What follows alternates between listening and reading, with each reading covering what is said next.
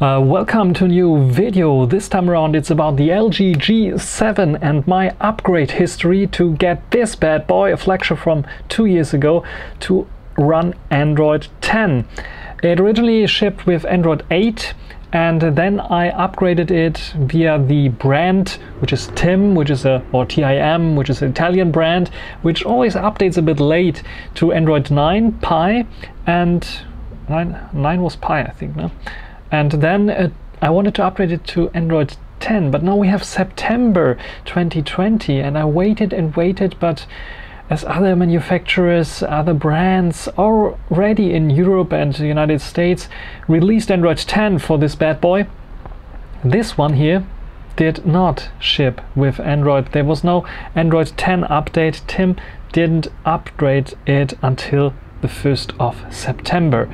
So what I did is just I grabbed an image, researched a bit. Is it possible to get an European image? Because I thought, oh, it's European Union should be the same in every country in Europe to run Android 10 and I found the British version, the German version and I just flashed in on, on it. But eh, flashing this is one of the gripes I have with LG this phone is like under 200 bucks. You can get it for 150 and upwards uh, right now. It is a good phone for this price, I have to say. It has uh, wireless charging, it has a very good quad DAC still in the European version. And uh, camera is okay, it's, it's two years old, so cannot uh, expect like wonders, but still it is okay. But the major gripe with LG I have is software updates. LG is already late when it comes to software updates and the carriers or brands in this case TIM or TIM is even more late into the game when it comes to upgrading stuff and this is really really sad I have to say and I'm glad that I'm able to run Android 10 here right now because it brings some new features and I found out it has a better battery life. I get around eh, 10 15 maybe 20 percentage better battery life. So it's just the amount that you notice it's now longer in terms of battery life which is I think a pretty good uh, thing. So let me show you that I'm not lying here. Uh, let me go to about phone and then software info. And you can see here I have running the Android 10 version and it is running with the July patches already which is I think also pretty cool. I'm not sure if I will even get update on this on this phone because it's like a TIM device originally. If I get the software updates but I can upgrade manually because I know now how. And I want to go through the really ridiculous way you have to take to upgrade this phone but it is possible. So it's not don't throw this away if you get this phone for cheap. You can upgrade it to android 10 and uh, even if your carrier does not want or allow you to upgrade easily. To do this it is pretty complicated. First of all, you have to have Windows because there's only one tool which allows you to upgrade this and it's a Windows tool. It's called LG Up and you can download this for Windows. I thought, okay, I already had these problems with upgrading my uh, BIOS on my laptop because there's no Linux support for it.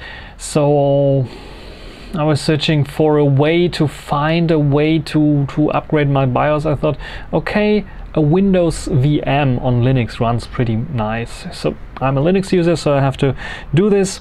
So I thought, okay, install LG Up and download the ROM. You can find um, LG ROMs or LG firmwares has um, uh, lots and lots of ROMs, different ROMs here for this LG device and many other LG um, devices. And you can find the LG Up tool, which is slightly patched because usually you need a developer account to use this even. And uh, yeah, this uh, did work, but when it comes to flashing, it didn't.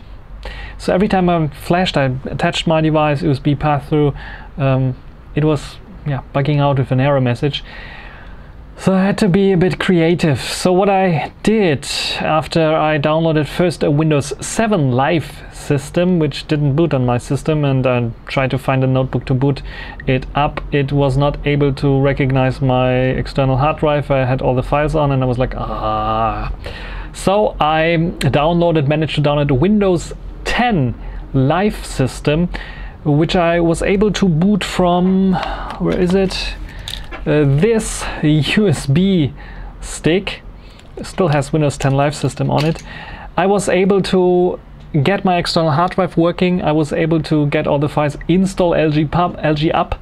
LG up was complaining about some stuff, MF, MFC 42 DLL missing, even though it was still there. You know, the Windows crap. And um, yeah, it was uh, painful, but uh, I had to then copy LG up folder after installation onto the external drive because it was complaining about not having enough space. Then I was able to just run the flash script uh, because you have to just type it in a terminal because uh, you need a new LG up version that is not patched and you need then a CMD version of it, a command line version, and then uh, in the end you can see it all here. Uh, we'll show you how it worked. It flashed Android 10 on this little bad boy and now I have Android 10 here and I'm quite happy to figure out how this stuff works just like for example face unlock works. It's a bit slow. Uh, let me try to, to show you this. Uh, so I think maybe you saw it. Otherwise I'll just try to record it again. Um, it's a bit slow when it comes to face unlock, uh, but the fingerprint scanner is gladly there and if I tap now you can see it is uh, pretty fast when it comes to unlocking the device.